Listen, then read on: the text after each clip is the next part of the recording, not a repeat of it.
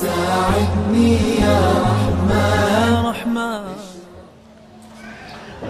Beberapa kekeliruan saat mengucapkan ikhfa.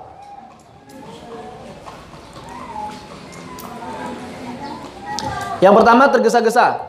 Ini yang paling sering ya. Ketika mengucapkan hunah itu tergesa-gesa. Giliran suruh ditahan, dilewat. Giliran suruh dilewat, ditahan. Alam tara kaif. ini kan harusnya dilewat tapi ditahan. Harusnya alam tara kaif. Giliran suruh ditahan malah dilewat. Antum abid. Harusnya antum. Seperti itu. Mengizharkan bacaan. Khususnya saat membaca ikhfa akrab. Dal, ta, dan to. Sebagian orang bacanya andada, andada. Sebagian orang bacanya kuntum. Itu sebagian orang baca seperti itu. Ini keliru. Ya. Jadi bukan kuntum tapi kuntum dengan ikhfa yang sangat tinggi, a'la.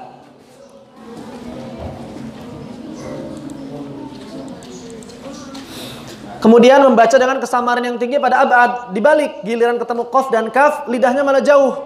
Milka. Harusnya ming. Mink. Coba. Mink. Ant. Beda cara pengucapannya? Diperjelas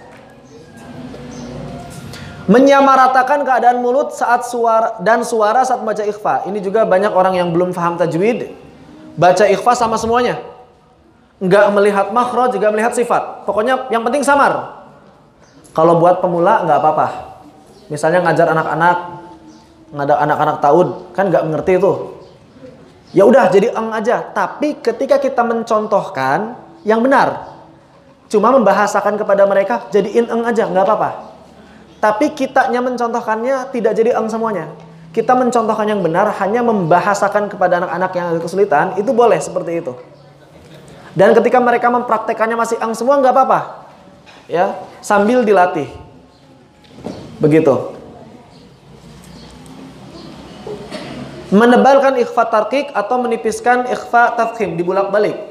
Kenapa? Karena sebagian orang fokusnya pada harokat, bukan pada sifat harokatnya domah ya monyong kuntum gitu ya kuntum harokatnya kasroh nyengir min qablik padahal ketipisan dan ketebalan ikhfa bukan dari sisi harokat tapi dilihatnya dari sisi sifat huruf ikhfanya kalau tebal jadi gunahnya tebal kalau tipis gunahnya jadi tipis seperti itu berkaitan dengan ikhfa dan ini merupakan hukum terakhir dalam bab nun as-sakinah dan tanwin. Mudah-mudahan dapat dipahami.